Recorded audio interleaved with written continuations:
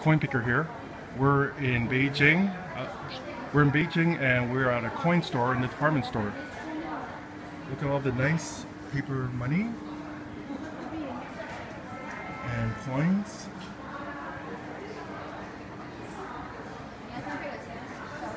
I just bought a 5 ounce and a 1 ounce panda. Very happy about that.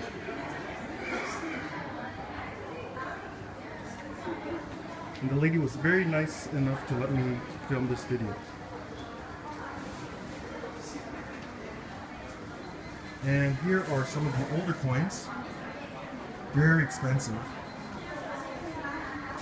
No wonder uh, during our coin fairs, um, the Chinese visitors uh, buy up all their Chinese coins because compared to these prices, they are getting a bargain.